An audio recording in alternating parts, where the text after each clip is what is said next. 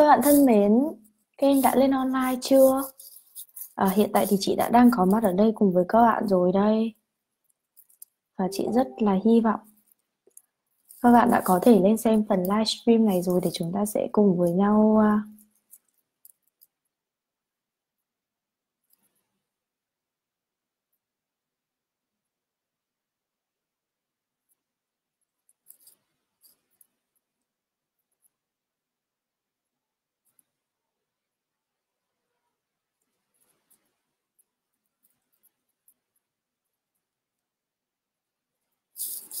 Kem ơi, hello, xin chào các bạn. À, xin chào các bạn nha. Ok, xin chào Mai Phương, xin chào Thu Hằng, xin chào uh, Phương Thảo.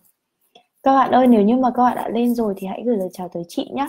Chị vì chị sợ là các bạn sẽ quên chị mất, thế nên là ngày hôm nay chị đã phải xuất hiện ở trên phần livestream này. Uh, Ơ thế à, Hà Giang ơi một lát nữa khi mà phát trực tiếp xong thì chị sẽ trả lời nhá. Hoặc là em có thể nhắn tin cho fanpage học văn chị Hiên ngay lập tức đi nhá. Tại vì là chị thì vẫn còn khá là nhiều những cái công việc khác mà đặc biệt là chị lại sắp cưới rồi Thế nên dạo này chị không care nhiều công việc ấy. Chỉ là những cái công việc nào cần thiết thì, thì chị mới thường lên và giải quyết thôi. Thế nên Hà Giang ơi, em hãy thông cảm cho chị và nhắn tin cho fanpage học văn chị Hiên qua chị nha. Ok chưa? À, các bạn ơi,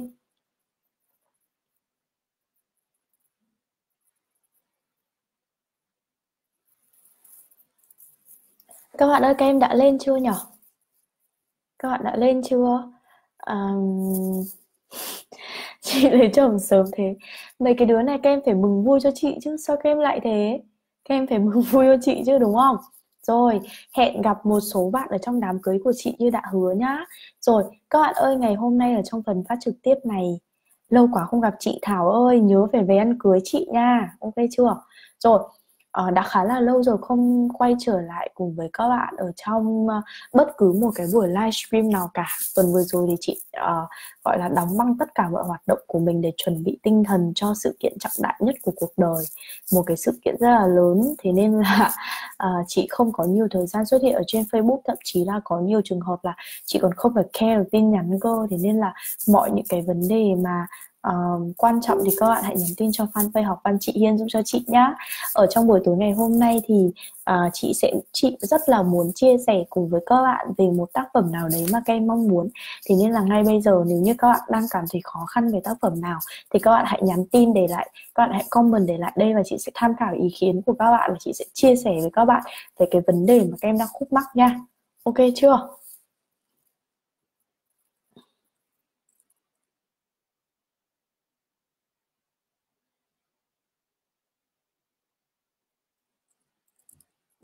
Nhớ chưa nào?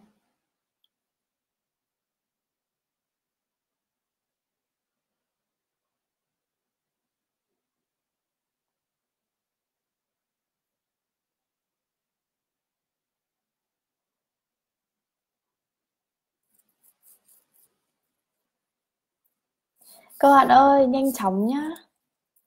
À, các bạn thích bài gì? Chị sẽ chia sẻ với các bạn về tác phẩm đấy.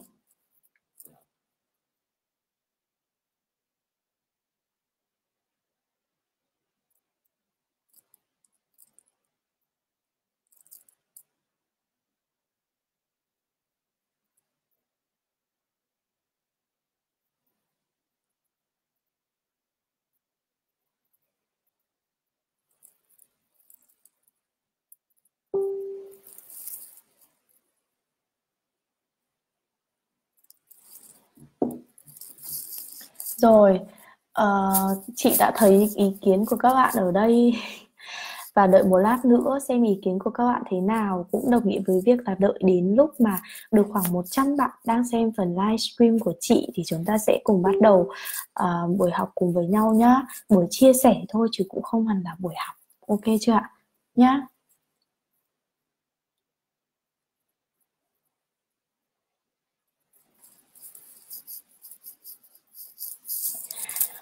Ừm.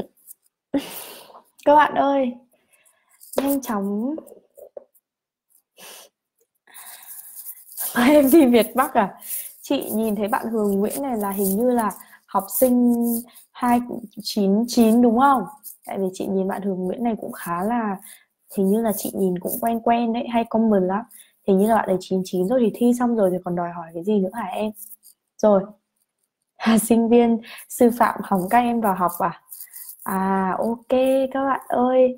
Chị đã thấy khá là nhiều những cái comment của các bạn ở đây rồi và chị vẫn đang đợi các bạn được không ạ? Um, trong tuần này thì mọi công việc của chị dường như là bị ngừng lại bởi vì là chị có một cái sự kiện rất là lớn trong cuộc đời của mình phải trải qua và các em cũng đều như thế đúng không?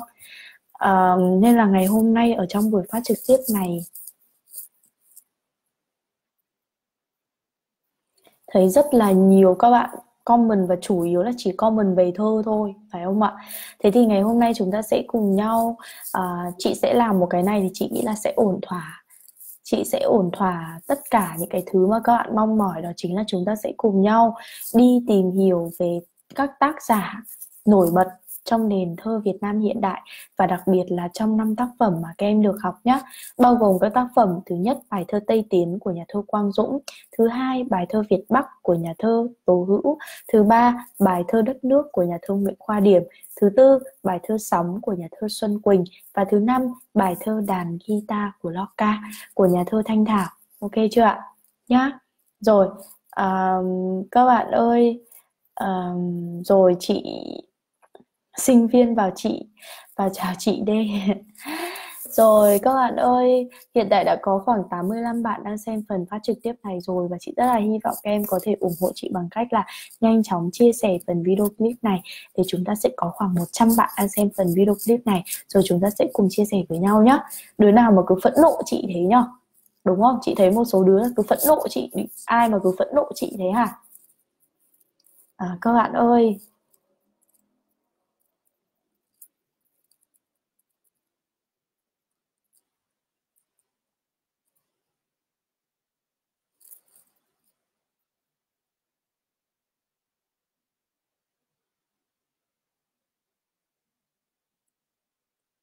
các bạn ơi.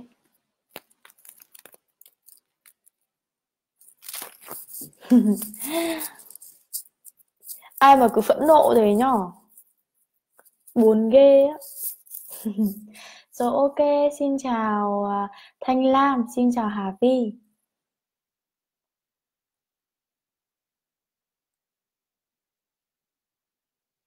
Ngoài trời thì đang mưa.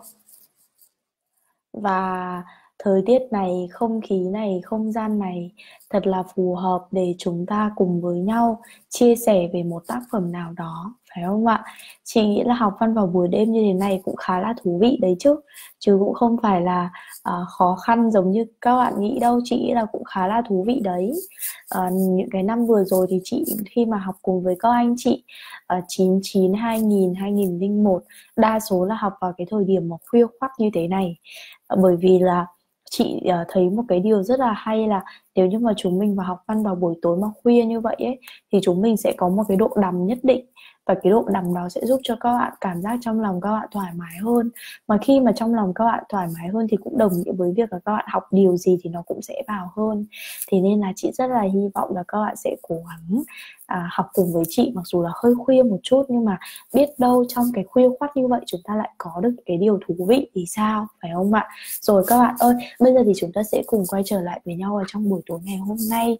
Và chị sẽ chia sẻ với các bạn về một trong về uh, những tác giả mà chúng ta cần phải lưu tâm trong chương trình ngữ văn lớp 12 phải không nào? Những tác giả mà chúng ta cần lưu tâm trong chương trình ngữ văn lớp 12. À, ờ, tác giả đầu tiên mà chị muốn các bạn sẽ lưu tâm giúp cho chị đó chính là nhà thơ Quang Dũng.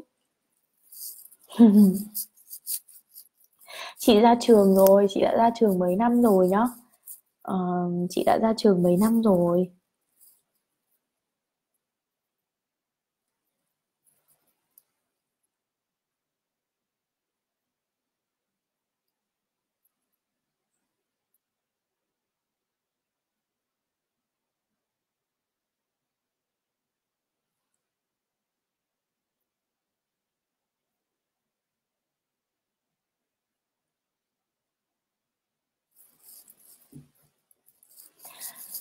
À, chúng ta sẽ cùng nhau bắt đầu nhé.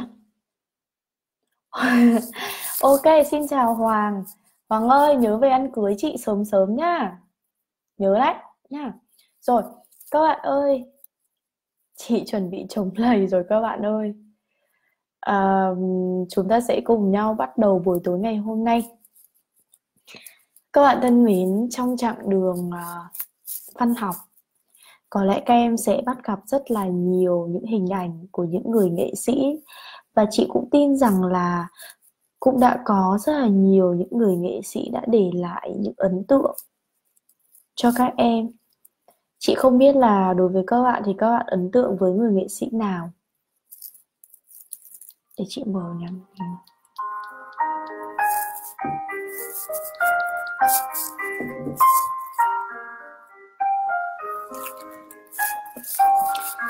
um, chị không biết là các bạn ấn tượng với người nghệ sĩ nào.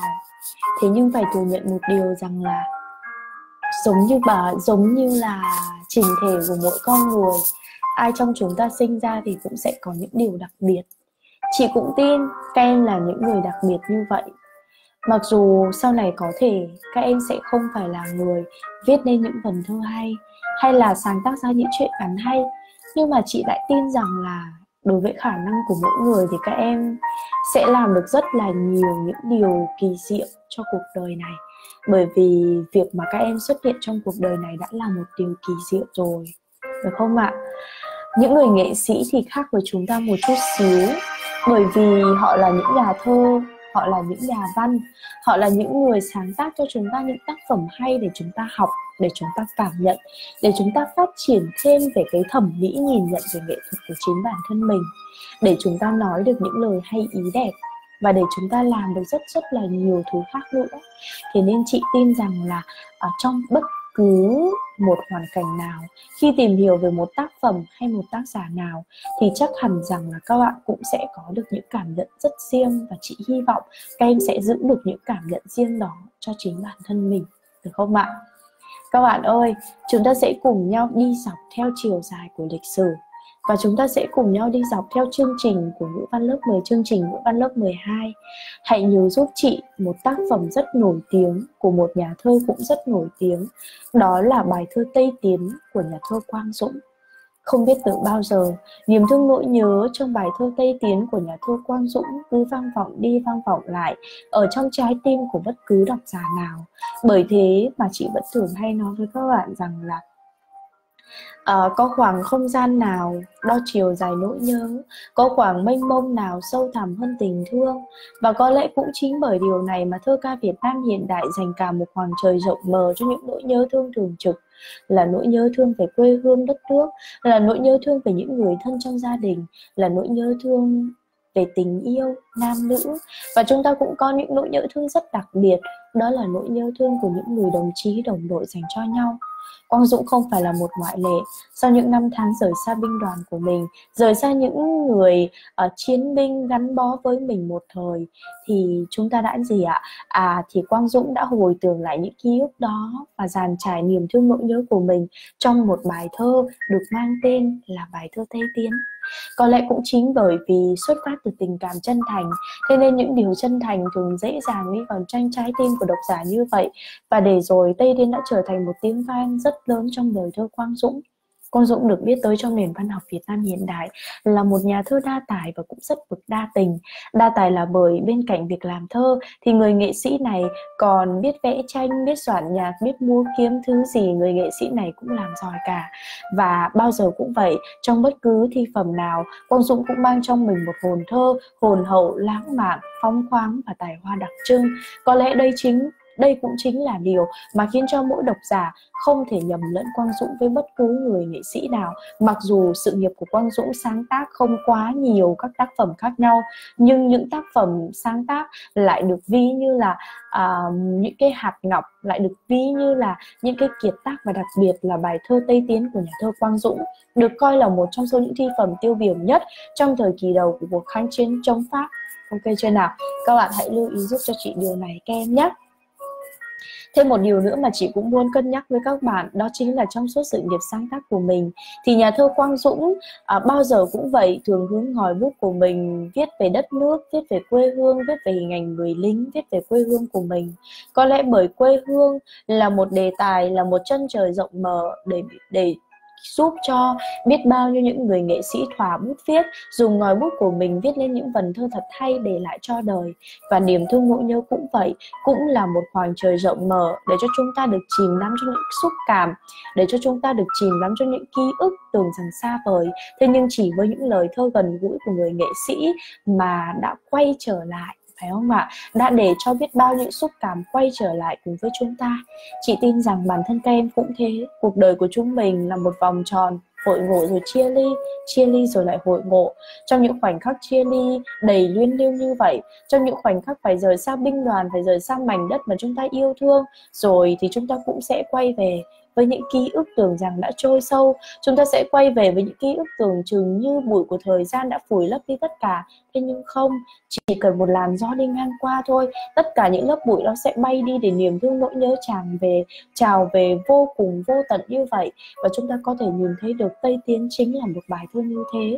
Và quang dũng là một nhà thơ đã truyền tải đến người đọc những cái cảm xúc tràn đầy như vậy là hình ảnh về thiên nhiên Tây Bắc, là hình ảnh về những con người Tây Bắc, là hình ảnh về hình ảnh là hình ảnh những người lính Tây Tiến mang trong mình vẻ đẹp, hào hùng, hào hoa, lãng mạn và bi tráng của một thời đại không thể nào quên. Được không ạ? À? Hãy nhớ giúp chị về nhà thơ Quang Dũng và bài thơ Tây Tiến các em nhé. Rồi các bạn ơi, uh, tiếp tục theo suốt chiều dài của lịch sử hãy nhanh chóng nốt lại những cái ý mà chị vừa đề cập với các bạn bởi vì chị tin rằng đây sẽ là những cái ngữ liệu mà các em rất rất là cần phải không ạ? Nha. Ờ, các bạn ơi chị nói có nhanh quá không? Nhưng mà đó là thói quen của chị rồi nên là rất khó để sửa. Khi mà chị đã giảng rồi ấy, thì thì thực sự là khó khó để mà chị dừng lại lắm nên là các bạn sẽ thông cảm nhá được không ạ? À, các bạn sẽ thông cảm chị rất là khác chị khá là khác so với những thầy cô khác bởi vì nhiều thầy cô thì có những cái phút dừng cho các bạn ghi ấy. Nhưng mà nhiều khi chị giảng là chị không dừng lại được thực sự là không dừng lại được. À, bây giờ là chị đã nói chậm hơn rất là nhiều so với ngày xưa rồi đấy. Thế nên là chị hy vọng là các bạn sẽ không bị quá nhanh. Được không ạ? Chị thế này là đã chậm hơn ngày xưa rồi đấy chậm hơn rất là nhiều rồi đấy. Nên là chị muốn là các bạn sẽ sẽ cố gắng cùng với chị mặc dù là thấy nó hơi nhanh thì các em cũng sẽ cố gắng cùng với chị nhé Ừ, nếu như có thể thì các bạn sẽ lên kênh YouTube của chị để à, chúng ta sẽ tìm nhiều bài hơn và trong thời gian tới thì chị cũng đang có định hướng phát triển kênh youtube của mình. Có thể là chị sẽ phát triển thêm một cái mảng nữa đó là review đồ ăn. Tại bởi vì hai cái niềm đam mê lớn nhất trong cuộc đời của chị có lẽ là bên cạnh cái việc là giảng văn cho các em thì đồ văn cũng là uh, một cái uh, gọi là ừ, đồ ăn cũng là một cái niềm đam mê vô cùng của chị. Được không ạ? Đó là lý do tại sao mà mặt chị lúc nào cũng như thế này và không bao giờ giảm được. Là vì đồ ăn thôi chứ không vì cái gì khác cả um, thế nên là chị hy vọng là dù chị có phát triển cái gì thì các em cũng sẽ ủng hộ chị được không? Nhá. Rồi à, các bạn ơi bây giờ thì chúng ta sẽ cùng nhau tiếp tục với tác phẩm tiếp theo nhé. Và chúng ta sẽ cùng tiếp tục với tác giả tiếp theo nhé.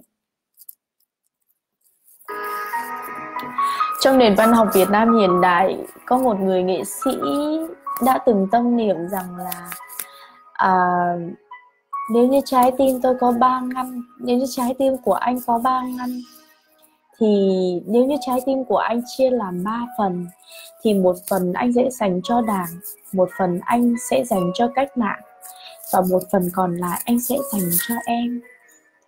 Đây là lời mà anh nói thật, bởi vì anh không sợ là sẽ mất lòng của em. Chúng ta đều là những người sinh ra trong thời đại mà tiếng gọi của tổ quốc là tiếng gọi lớn lao nhất tiếng gọi của tổ quốc là tiếng gọi uh, động lực nhất là tiếng gọi mãnh liệt nhất. Chính vì vậy mà trái tim anh chia ba phần tươi đỏ. Một phần anh dành cho đảng một phần anh dành cho cách mạng phần còn lại anh mới dành cho em. Và tình cảm của chúng mình là tình cảm của những người đồng chí bởi vì chúng ta bây giờ là những người mang trong mình gì ạ? Là những người mang trong mình tinh thần quyết tâm giành lại độc lập tổ quốc giành lại gì ạ? Độc lập cho tổ quốc cho dân tộc. Elila Ehrenburg từng nói rằng lòng yêu nước thì bắt đầu từ lòng yêu những thứ tầm thường nhất. Yêu cây cây trồng ở trước nhà, yêu cái phố nhỏ đổ ra bờ sông, yêu vị thơm chua mát của trái lê mùa thu hay mùa cò thảo nguyên có hơi rượu mạnh.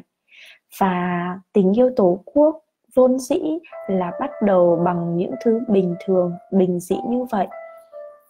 Nhà thơ mà chị muốn nhắc tới ở đây là nhà thơ Tố Hữu Tô Hữu được coi là một trong những lá cờ đầu của thơ ca cách mạng Việt Nam. Tô Hữu được coi là một nhà thơ mang trong mình một hồn thơ vô cùng đặc biệt, một giọng thơ trữ tình chính trị vô cùng sâu sắc. Bởi lẽ viết về những sự kiện chính trị trọng đại trong lịch sử của dân tộc, nhưng bao giờ cũng thế. Tô hữu cũng gì ạ? À tô hữu cũng viết bằng một giọng điệu thù thì tâm tình. Ừ thì anh đang tự bạch với em, với lòng mình.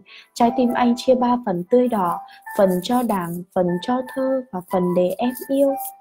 Thế mà em vẫn bảo là thế vẫn nhiều anh nhỉ? Rồi hai đứa hôn nhau, hai người đồng chí chúng ta cảm nhận được một cái tình cảm một cái tình yêu vô cùng mãnh liệt với tổ quốc mà Tô Hữu đã dâng chọn lòng mình.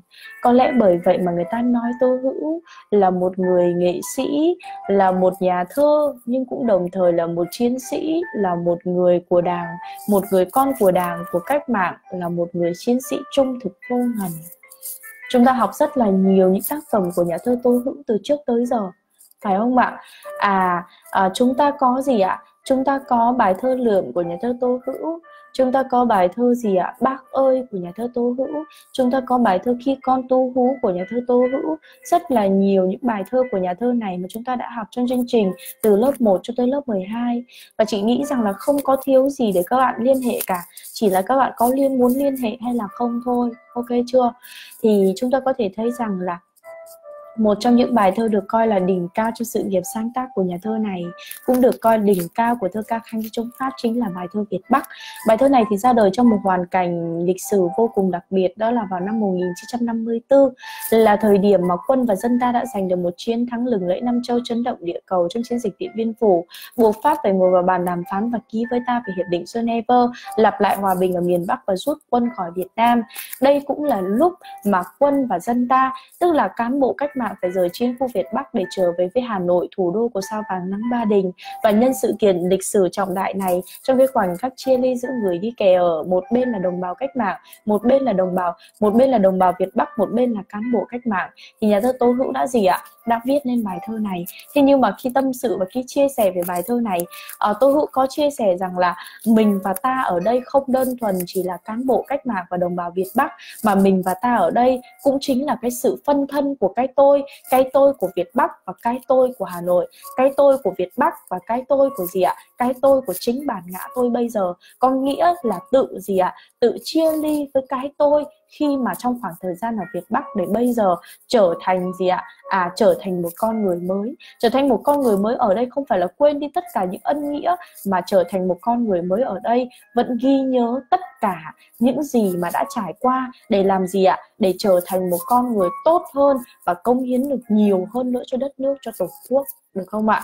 Thì nếu như mà các bạn có tham gia vào cái lớp uh, um, lớp VIP của chị ấy thì các bạn sẽ thấy là trong cái quá trình mà nói thì chị sẽ phân tích khá là sâu về phần này. Ok chưa ạ? Chị sẽ phân tích khá là sâu về phần này.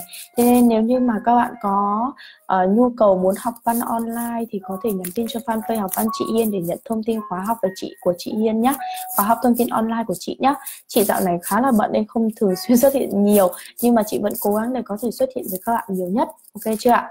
Rồi thì đấy là nhà thơ tố hữu. Chị nghĩ là cũng đã có khá là nhiều những cái thông tin để các bạn có thể tận dụng rồi đúng không ạ? Ở bây giờ đã là 11 rưỡi rồi nhanh quá. Chị sẽ chia sẻ nốt về một tác phẩm nữa rồi chúng ta sẽ nghỉ nhé à, ờ, các bạn thân mến. À, người ta bảo rằng là những người đã yêu những người đang yêu những người sẽ yêu tất cả chúng ta ở thời đại này, tất cả chúng ta ở quá khứ, ở hiện tại hay ở tương lai thì bao giờ cũng vậy. Trong tâm khảm của mỗi người và trong trái tim của mỗi người không bao giờ có thể đánh mất đi một cái khát vọng vô cùng vô cùng tận. Đó là khát vọng tình yêu. Và có lẽ cũng chính bởi điều này mà những người đã yêu, những người đang yêu, những người sẽ yêu vẫn luôn luôn thầm thu, thầm phát một thứ sóng vô cùng đặc biệt. Đó là sóng của xuân quỳnh phải không ạ chúng ta có thể thấy rằng là uh, nhà thơ Xuân Quỳnh là một người phụ nữ sinh ra để yêu và làm thơ. Nữ sĩ Xuân Quỳnh được biết đến trong nền văn học Việt Nam hiện đại với hình ảnh của một người phụ nữ xuất phát tất cả tiếng thơ của mình từ những điều bình dị, có lẽ bởi chính bởi điều này mà thơ của Xuân Quỳnh chưa bao giờ là cũ cả. Thơ của Xuân Quỳnh chưa bao giờ là xa lạ cả, mà tất cả những vần thơ ấy đều là những vần thơ gần gũi, bởi nó bắt đầu từ những thứ bình yên nhất và bình dị nhất của cuộc đời. Có lẽ cũng chính bởi vì thế mà tiếng thơ của chị đã đi vào cuộc đời chưa bao giờ nguôi yên ở trong trái tim của bất cứ độc giả nào. Xuân Quỳnh từng viết rằng là à, gì ạ? À, Xuân Quỳnh từng viết là gì? Xuân Quỳnh từng viết là à, à, chị đang chị tự nhiên chị lại quên mất. Chẳng dạy gì em ước nó bằng vàng. Trái tim em anh đã từng biết đấy. Anh là người coi thường của cải nên nếu cần anh bán nó đi ngay. Em cũng không mong nó giống mặt trời vì sẽ tắt khi bóng chiều đổ xuống. Lại mình em với đêm dài câm lặng mà lòng anh xa cách với lòng em. Em trở về đúng nghĩa trái tim em là máu thịt đời thường. Ai chẳng có vẫn ngừng đập lúc cuộc đời không còn nữa. Nhưng biết yêu anh cả khi chết đi rồi. Và có lẽ cũng chính bởi vì vậy mà người phụ nữ sinh ra để yêu và làm thơ này đã để lại cho nền văn học Việt Nam rất nhiều những tư thơ hay chúng ta thấy rằng là bản thân nhà thơ Xuân Quỳnh là một nhà thơ mang trong mình một hồn thơ giản dị, tự nhiên, gần gũi như hơi thở. Thế nhưng bên cạnh những cái khát khao về tình yêu, Xuân Quỳnh bao giờ cũng chất chứa trong đó là những lo âu chăn trở về cuộc đời, lo âu về sự mỏng manh của thời gian, lo âu về tình yêu của chúng mình, lo âu về sự mỏng manh của trái tim em và trái tim anh đúng không ạ? Chúng ta có thể thấy rằng không phải ngẫu nhiên mà Xuân Quỳnh lại chất chứa những lo âu chăn trở như vậy. Bởi vì cuộc sống riêng tư của Xuân Quỳnh, khi mà tuổi thơ thì có nhiều bất hạnh khi mà mẹ mất sớm, cha thường xuyên phải đi công tác xa. Đến tình yêu thì gian chân khi mà tình đầu thì đổ vỡ, sau đó tình yêu thứ hai thì gặp nhiều trắc trở. Chúng ta có thể thấy rằng bởi vì những cái biến động ở trong cuộc đời của mình, thế nên Xuân Quỳnh vẫn thường lo âu và chăn trở nhiều như vậy. Đúng không ạ?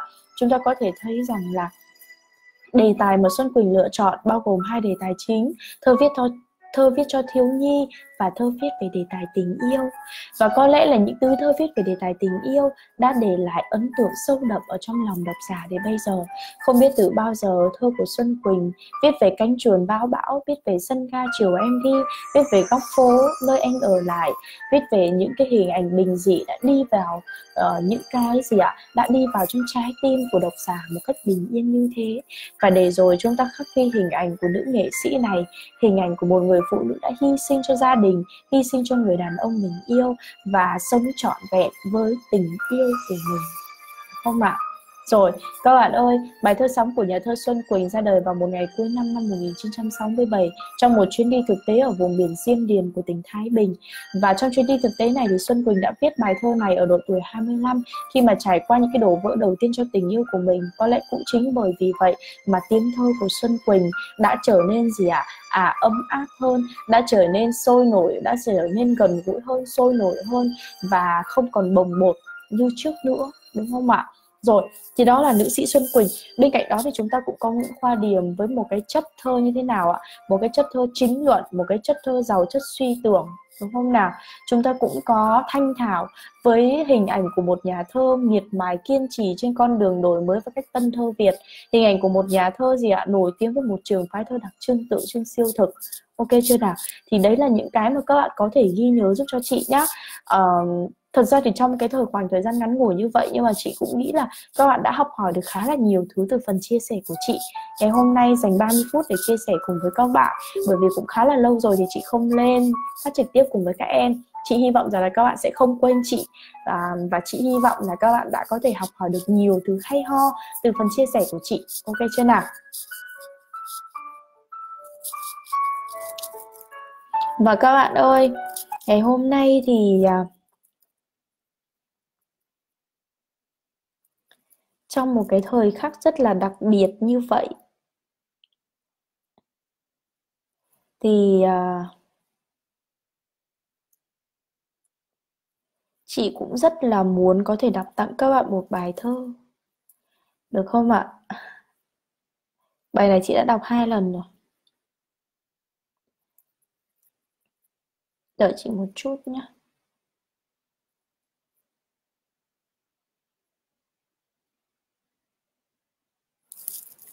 Rồi các bạn ơi, trong một cái thời khắc đặc biệt như thế này thì chị rất là muốn đọc tặng các bài một các bạn một bài thơ cực kỳ là hay của nhà thơ Nguyễn Phong Việt. Đây đã lần thứ ba chị đọc bài thơ này rồi. Và đây là lần mà uh, rất là hợp lý để chị uh, đọc tặng các bạn bài thơ này được không ạ?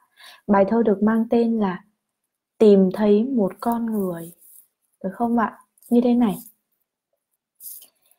Đã không thể sớm hơn, nhưng cũng chẳng muộn hơn. Ngày một người tìm thấy một con người sẽ không bao giờ còn có thể là một ngày bình thường.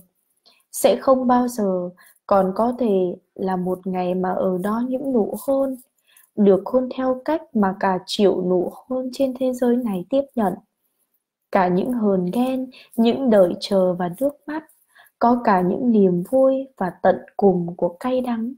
Có cả những hoài nghi và duyên may lận đận vì đã tìm thấy nhau. Ngày một người tìm thấy một con người, mưa nắng sẽ chẳng còn ý nghĩa gì nữa đâu.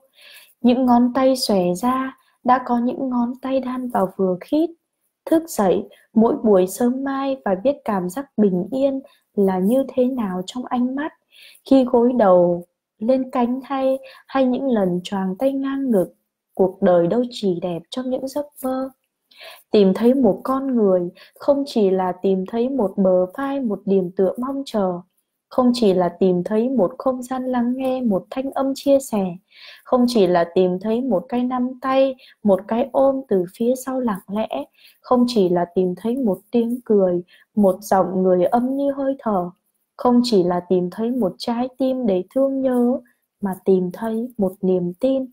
Mà tìm thấy ý nghĩa cuộc đời mình trên một hành trình, được nhìn thấy dấu chân của nhau khi đi ngang trước biển, được bình yên trên những chuyến xe xuyên đêm, dù gió lạnh ngoài kia mài miết, được lang thang suốt dọc vỉa hè, những khuya về im tiếng, được nói những điều mà thế giới này không ai hiểu được hết, được bất chấp vì yêu thương ngày một người, tìm thấy một con người. Đã có thêm một vì sao sáng lên trên bầu trời, trong bầu trời đêm. Biết những hoang mang từ nay được ân cần xếp lại. Chỗ của cô đơn giờ sẽ nhường cho sung vầy nhìn thấy. Và trước khi có điều gì đó mãi mãi, đã có điều gì đó được bắt đầu. Ngày một người tìm thấy một con người, sẽ là ngày hai con người cùng từ chối một nỗi đau. Được không nào? À, các bạn ơi đây là một bài thơ mà chị rất là tâm đắc. Và trong một hoàn cảnh phù hợp đọc một bài thơ phù hợp đúng không? Chị rất là hy vọng. À, các bạn sau này rồi cũng sẽ như thế. Rồi thì các em cũng sẽ tìm thấy một người. Chẳng phải mong mồi ruột rà gì cả chỉ là xa lạ có duyên làm quen thế mà vì uh, nhiều khi vì người ta mà nén lại tất cả những tủi hờn xóa bỏ đi tất cả mọi thứ gọi là quy tắc phải không ạ? Đừng vội cười chị nhá vì chị tin rồi sau này chắc chắn các em cũng sẽ như thế. Rồi các em cũng sẽ tìm thấy một người như vậy và chị chúc cho các em à, sẽ có được những tháng ngày tuyệt vời và sẽ gặp được người mà mình cần gặp không ạ? Rồi ok, các bạn ơi, ngày hôm nay thì chúng mình sẽ tạm dừng phần livestream tại đây nhá. Chị đã là một cái con long rất là chăm chỉ rồi, phải không ạ? Vì khuya như vậy mà vẫn lên gặp các bạn, bởi vì chị sợ là trong những ngày tới thì chị lại không gặp các bạn được. Rồi, cảm ơn các bạn vì ngày hôm nay đã xem phần livestream này và chị chúc cho các bạn sẽ có một buổi tối thật là vui vẻ. Và đừng quên là tương tác nhiều hơn với chị Hiên trên fanpage học văn chị Hiên hay là trên trang cá nhân của chị em nhé. Còn bây giờ thì xin chào và hẹn gặp lại các bạn ở trong những tuần livestream tiếp theo. Bye bye!